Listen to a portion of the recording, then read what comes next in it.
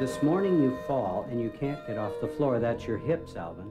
And you're going to have to use a walker now to get around. No walker. I love a lightning storm. Uh, me too, Dad. Uncle Al, I had a a stroke.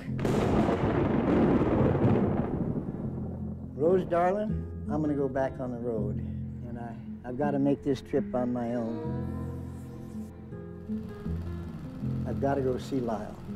I know you understand. Alvin, you're gonna get blown off the right off the road. That's what I'm afraid.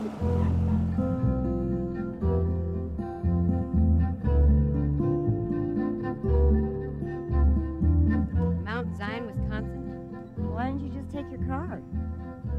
I don't have a driver's license. That's 60 more miles of hills. That's across the Mississippi.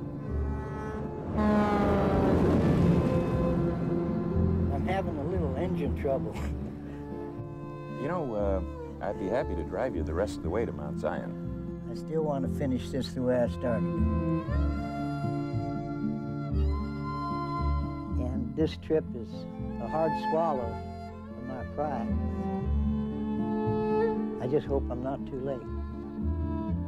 You've got two brothers that haven't spoken in 10 years. I want to make peace. I want to sit with him, look up at the stars, like we used to do so long ago. Brother's and brother.